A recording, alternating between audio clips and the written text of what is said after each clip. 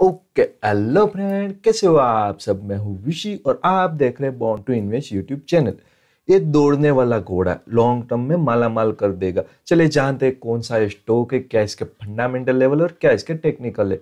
और अभी तक आपने हमारे इस चैनल को सब्सक्राइब नहीं किया तो सब्सक्राइब ज़रूर कर लीजिए, क्योंकि हम ऐसे वीडियो हर रोज, हर दिन लेते आते और जो बाजू में घंटे वाला बटन है, उसे ज़रूर दबा दीजिए, जिसको आपको हमारी नोटिफिकेशन सबसे पहले मिल जाए। गुड क्वालिटी का स्टॉक एक good quality by management risk growth and capital structure for long term investment आप इसके सेल्स ग्रोथ देख लीजिए नाइन परसेंट आप इसकी ईबीआईटी ग्रोथ देख लीजिए twenty nine point nine one percent आप इसमें net debt to equity ratio देख लीजिए negative net debt to equity ratio है। अब हम इस कंपनी के वैल्यूएशन के बारे में बात करते हैं। वेरी एक्सपेंसिव वैल्यूएशन पे हाल फ़िलहाल ये ट्रेड कर रहा है। जो भी वैल्यू 740 के ऊपर होगी, ये इसको वेरी एक्सपेंसिव वैल्यूएशन पे डालेगा। अब हम इसमें पी रेशियो देखते हैं।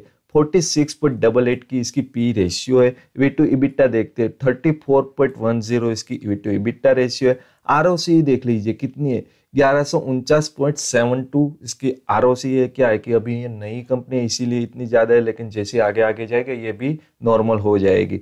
आर ओ ई देख लीजिए thirty three point one two percent की इसकी आर है। अब हम इस कंपनी के क्वार्टरली रिज़ल्ट के बारे में बात करते हैं। आप इसमें नेट सेल्स देख लीजिए। पिछले क्वार्टर से इस क्वार्टर में इस कंपनी ने 3.68 परसेंट की एक अपसाइड दिखाई है नेट सेल्स में। आप इसमें नेट प्रॉफिट देख लीजिए, जिसमें भी 5.66 परसेंट की अपसाइड हमें देखने को मिली है। आप इसमें ऑपरेटिंग प्रॉफिट मार्जिन देख लीजिए, जिसमें भी 5.06 परसेंट की एक अपसाइड हमें देखने को मिली है। अब हम इस कंपनी के एनुअल रिज़ल्ट के बारे में बात करेंगे, जो कि एक ईयर टू ईयर रिज़ल्ट होता है। आप इसमें नेट सेल्स देख लीजिए 9.02 परसेंट के एक अपसाइड हमें देखने को मिले पिछले ईयर से। आप इसमें नेट प्रॉफिट देख लीजिए, जिसमें भी 30.83 परसेंट की हमें अपसाइड देखने को मिली है। आप इसमें ऑपरेटिंग प्रॉफिट मार्जिन देख लीजिए, जिसमें भी 8.63 परसेंट की हमें अपसाइड देखने को मिली है। अब हम इस कंपनी के शेयर होल्डिंग पैटर्न के बारे में बात करते हैं। प्रमोटर के पास 82.71 परसेंट की होल्डिंग प्रमोटर के पास है। आप इसमें एफआईएस देख लीजिए। 4.73 परसेंट होल्डिंग एफआईएस के पास है। आप इसमें म्यूचुअल फंड देख लीजिए। 0.92 परसेंट की होल्डिंग म्यूचुअल फंड के पास है। जो इस कंपनी में मेनली हम देखते हैं कि प्लेज प्रमोटर होल्डिंग जो कि ज़ीरो है मतलब इस कंपनी ने कोई भी अपना स्टॉक गिरवी नहीं रखा है। चलिए अब जानते हैं कौन सी है कंपनी है। अब तक हम बात कर रहे थे H D F C M C के बारे में। अपनी इंडस्ट्री में सेवंथ नंबर पे आता है लार्ज कैप स्टॉक है और एक बढ़िया सा डिविडेंड भी पे करता है। जो इसका हाउस है वो है एच डी एफ़ सी तो एक भरोसेमंद क्या है कि कंपनी है और आपको भी किसी स्टॉक के बारे में क्या है कि जानना हो, कोई मीन्स के एनालिसिस करना हो तो आप हमें बता सकते हैं, हम उस पर क्या है कि अपनी तरह से डिटेल एनालिसिस करेंगे और बाद में एक वीडियो बनाएँगे उसके ऊपर। चलिए अब जानते हैं क्या है इस कंपनी के मतलब फंडामेंटल तो देख लिए हमने, क्या है इसके टेक्निकल लेवल क्या है, किस लेवल पे हमें बाय करना चाहिए जो अच्छा हो लॉन्ग टर्म के लिए।